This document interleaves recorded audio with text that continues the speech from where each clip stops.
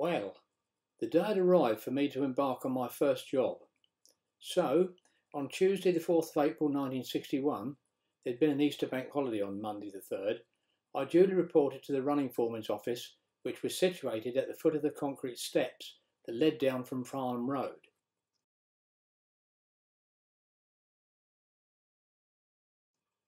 I had been here before, trying to sneak under the running foreman's radar to get a look at the locomotives in the shed, but this time I was here for real. I had a brief interview with the shedmaster, Mr. Stovall, and was then taken to the cleaner's cabin and introduced to Reg Phone, who was in charge of the engine cleaners. Health and safety issues were then explained, and I was then taken to the stores to collect my uniform which consisted of two pairs of trousers, which could be bib and brace, two lightweight jackets, a black serge jacket, and a shiny topped hat. This was emblazoned with a green enamel British Railways badge. Other paraphernalia included the 1950 rulebook with a list of amendments which had to carefully paste into the book. I was then introduced to the other cleaners and we were then given instructions on what locomotives we were going to clean. Before any work could be carried out, the locomotive had to display a red not to be moved board, and this was attached to the locomotive by the person in charge, and this could only be removed by that same person when the work had been completed. Every part of the outside of the locomotive had to be cleaned, and this would involve climbing onto the framing of the locomotive, brandishing several cloths termed brownans, which were white cloths not dissimilar to household cleaning cloths that had been washed several times. These were doused in a paraffin and oil mixture which had been mixed in a bucket and then wiped across the paintwork of the boiler, framing and tender. The coupling rods and valve gear, motion, were also cleaned in this way, and sometimes if the locomotive was of the design where the motion was under the boiler, the rods could only be accessed from underneath by climbing up from the pit below. The excess oily mixture was then wiped off with successive cloths but some of the mixture would always end up running down your arms, creating a tide mark. The first locomotive I helped to clean on my first day was V-Class Schools 30909 St Paul's, one of three schools locomotives assigned to Guildford, their paintwork being a glorious Brunswick green. I thoroughly enjoyed my first day at work and went home elated. After all, here I was performing a job which I was passionate about and I was going to get paid for it. Shift work was also a necessity, and a small roster was maintained by Reg Phone. The shifts consisted of 8am to 4pm and a 2pm to 10pm. It was also expected that you would spend some of the time working as an office boy in the running foreman's office. This would involve assisting the non-clerical timekeepers who at that time were Percy Engel, Len Redding, Charlie Davy and Bert Mitchell, whose brother Frank was the labourer ash loader.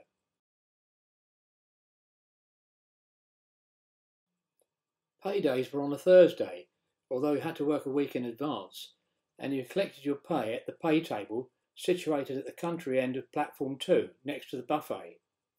My take home pay was only about £3, 2 shillings and sixpence, so at first I was reluctant to join the ASLEF union. One day I was approached by a fellow cleaner who was senior to me and asked if I would like to work with him the following Saturday as there was vacancy. As I was courting at the time, and on a 2pm to 10pm shift, and he was on an 8am to 4pm shift, I jumped at the chance. On the Saturday morning, Reg Phone approached us, and as mentioned, as he was senior to me, Reg asked him, Do you want to clean engines or scrub the office floors? Well, you can guess what he said. I had been stitched up a tree. Off I had to go and scrub the brown linoleum off not only the running foreman's office floors, but also the ambulance room, the stores office, and the foreman fitter's office floors. Scrubbing brush, tar soap, and on your hands and knees for hours. It was a dirty trick to play, and I never trusted him again. Sometimes it became necessary to be the office boy within the running foreman's office. This job didn't seem too bad at first. After all, you remained fairly clean, although there were drawbacks. One of these was to go to the canteen, situated at the top of the steps adjacent to Farnham Road, and write down the lunch menu of the day. The menu was then presented to the office staff, situated in the main building two floors up. This meant going down the concrete steps and then climbing two sets of wooden stairs to reach the office. I had absolutely no experience whatsoever being a waiter, so carrying several plates of lunches, separated by metal rings, was completely alien to me, especially when trying to balance the whole lot whilst negotiating the stairs. Gravy would spill from one plate to another, and some of this would end up in some of the puddings. The office staff in 1961 were as follows. George Stovall, shedmaster. Mr. Stovall had a terrible stutter, and because of this you'd have tremendous difficulty in deciphering what he wanted to order. He retired in 1962, and John Butt took office for a couple of years, and then Arthur Coe took his place. Archie Martin, chief clerk. Mr. Martin had a massive desk and correspondence would be piled up all over the place. When looking for an item, he'd utter, It's here somewhere, as he tossed various papers up in the air as he searched. John Phoebe, list clerk. John would make out all of the rosters and the daily alteration sheet. Other office staff were Arthur Herbert, who would sometimes perform the list clerk's job, and Stan Wright, who was in charge of pay bills.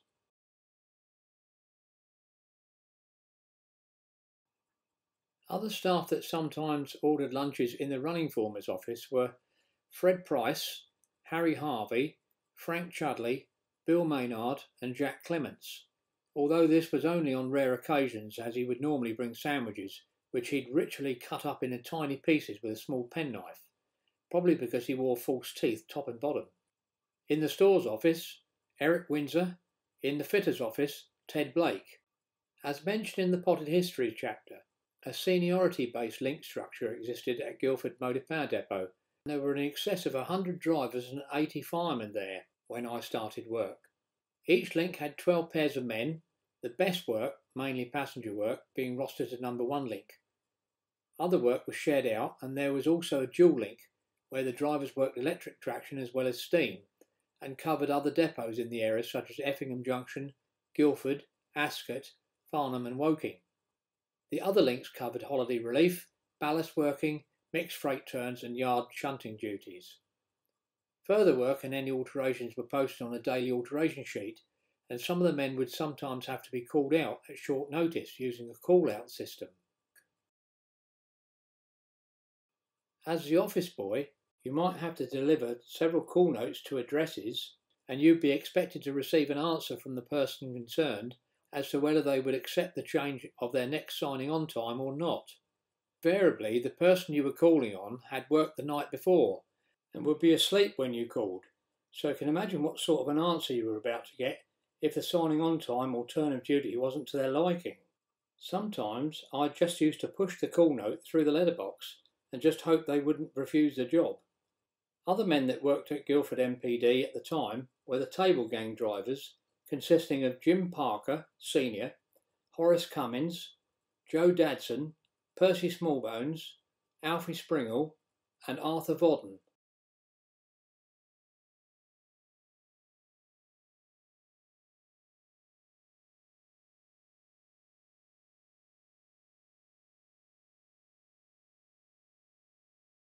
Plus the table gang operators, Mr. Hiscock, Bill Smith, and Fred Worsfold.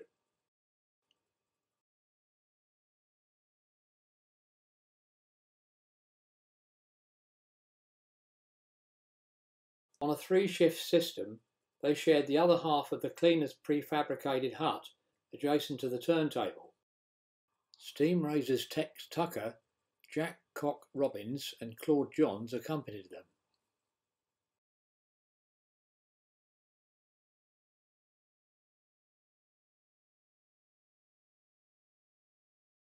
The coaling gang consisted of Steve Burke, Steve Bishop and Willie Hunt and they resided in a separate hut next to the coal stage.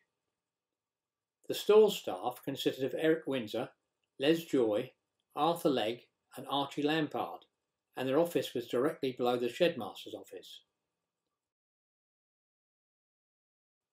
The boilersmiths and fitters had separate accommodation within the locomotive shed. Apart from the main canteen, there was a small wooden structured mobile canteen which was situated on the mail dock near Guildford Station's number 2 platform. This was quite a haunt for us cleaners, and I remember that the lady who ran it made some really nice homemade oat cakes, which was a welcome change from the bread and cheese sandwiches I usually took to work. Another job given to the late turn office boy on a Wednesday evening was to take the pay bills to Alton. These were placed in a canvas dispatch bag, the flap being tied down with string with a knot held in place by sealing wax. You would then catch the Guildford to Aldershot train, changing there for the Alton train. Once you'd arrived at Alton, you then handed the dispatch bag to the guard on the Alton to Eastleigh train who would then ensure that it arrived at the paybills department at Eastleigh. It was quite a journey, and it was on some of these occasions that I would ask if I could ride in the cab with the driver of the electric unit. I remember once riding in the cab with driver Alfie Lake, who I think was based at Woking. He called the Alton line the jungle, and I could see why, as I was amazed how dark the line was at night, as there were no headlights on trains in those days. On another occasion, I rode in the cab with the driver and he let me drive the unit from Ash to Aldershot. I was only 15 and holding the power controller down for long periods was too much for me and I accidentally released it. I didn't realise that the control had to go to the off position before the dead man could be released and we nearly became gapped between the conductor rails on the approach to Aldershot station. Luckily, the driver jumped across and saved the situation. Another office boy duty was to collect the notices that were issued to drivers. This was usually performed on the Thursday late shift and would involve wheeling a sack barrow across the foot crossing, station side of Farnham Road Bridge, to the station parcels office situated on platform 2 by the steps near platform 1 down bay. The late turn non clerical timekeeper would also accompany you. The publications would be in stacks and were quite heavy and once they had been wheeled back to the office, they were then sorted in neat piles and placed in each driver's pigeonhole. All of the driver's work was recorded on the driver's daily return ticket. The fireman was also included, and once completed at the end of the shift, were placed in a large box in the running foreman's office.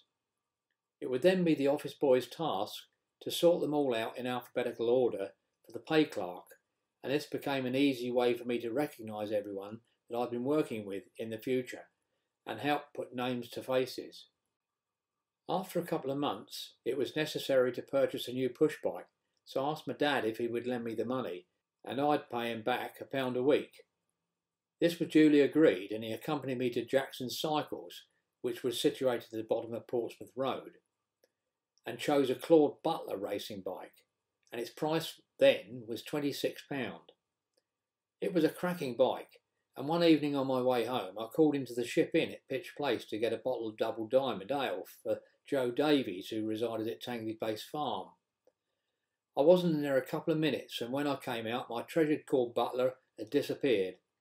Although I'd insured the bike when I purchased it, I was heartbroken to find that it had been stolen. About a month passed, and just as I was about to receive my insurance claim, I had a phone call from the police that my bike had been recovered at Mytchett Army Camp and I could make provisions to collect it. Obviously, a soldier had decided to borrow it, get back to barracks before he was listed as AWOL.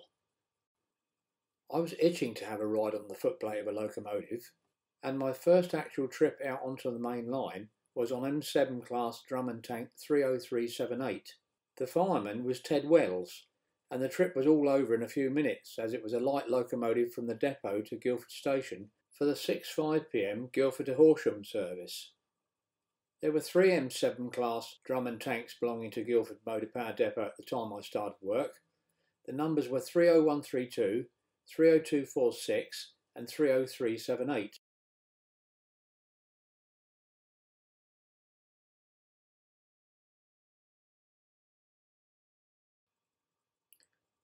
However, my next trip out was far more memorable and took place on a Saturday afternoon when I was off duty. I'd been asked by fireman Jim Granger if I'd like to go with him on a trip to Reading and back. I couldn't resist the opportunity and met Jim at Guildford Up Yard on a Saturday afternoon. The trip involved working the 3.24pm freight from Guildford Up Yard to Reading Yard and then working the 7.24pm freight back to Guildford Up Yard. The locomotive on the turn was a Q1 class and the driver was Bill Phillips.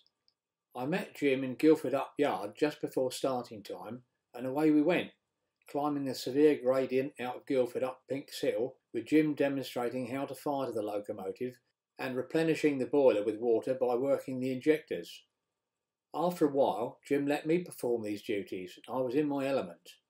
When we arrived at Reading, we took the locomotive into Reading Southern Shed and took water, turned the engine on the turntable and made the fire up for the return journey.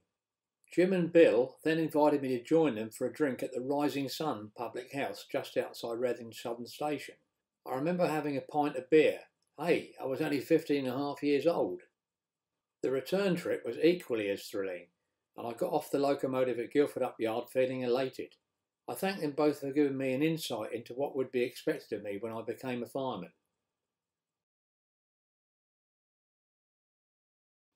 As the months towards my 16th birthday went by, several other lads started work as engine cleaners. Ian Coles, Alan Johns, Sid Ford, and the Sharman twins, and I soon moved up the ranks in seniority. It was customary to offer the senior cleaner a job within the boilersmith shop, and as Bill Moore, who had previously performed the job, had been promoted to pass cleaner, the position was offered to me. One of the jobs involved clambering into the fireboxes of locomotives. Their fires had been thrown out and the fireboxes had cooled down considerably, I hasten to add. The only protection you were given was a cotton fibre face mask, and you then crawled inside the firebox, feet first, via the firehole door.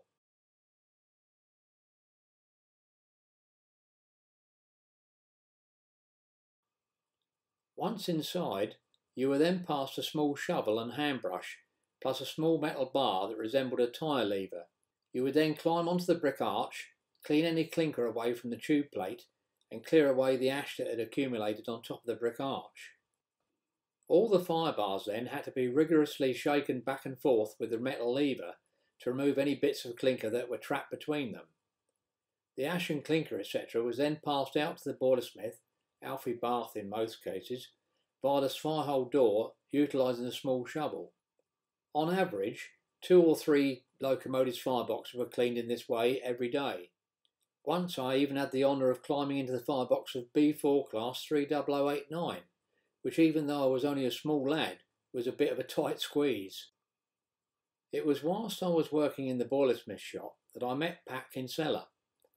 I was keen to learn the fireman's trade and asked him if I could help him with his preparation duties. He readily agreed and as he was in the process of filling the sandboxes on his locomotive, I gave him a hand. As I was carrying the two laden sand buckets from the sand furnace back to the locomotive, I accidentally trod on a wooden board which had a rusty nail sticking out of it. The nail penetrated my boot and went into my left foot, at which point I let forth a yelp and quickly dropped the sand buckets. I tried to lift my foot up off the board, but as I did so, the board lifted as well, the only way I could move was to tread on the board with my right foot to hold it down and then gingerly lift my left foot away from the board. Needless to say, I had to visit the Surrey County Hospital in Farnham Road to have an anti-tetanus injection, and afterwards had to ride my bike back home to Worplesdon, which proved quite painful, and from then on became very wary of wooden boards laying around the shed. As mentioned, when I first joined, I was issued with a green British Railways cap badge, but it became the fad to change the design of these and have a small locomotive badge affixed to the top. This was no mean feat, and it soon became apparent that to get the badge sparkling clean, it would be necessary to chip all of the green enamel from the badge and to dip it into a bath of sulphuric acid, which was kept in a covered sink round the back of the old shed. This was an extremely dangerous practice, but it had the desired effect. I'm sure there was a sign nearby warning all of the dangers, but boys will be boys. The locomotive badge would then have to be soldered onto the top, and there was always someone that knew someone within the shed that could perform this task, and this was done for a couple of shillings. Whilst working in the boilersmith shop, I was earning twice as much as a cleaner, as I was now on labourer's rate of pay. Stupidly, I didn't save my money then, and bought all sorts of expensive things that I didn't really need. Balkan Sobranie tobacco and a Falcon pipe, a Ronson gas lighter and a leather cigarette case. I wasn't even old enough to smoke. Never mind, I'll be 16 in a few weeks' time, and I'm really looking forward to my firing apprenticeship.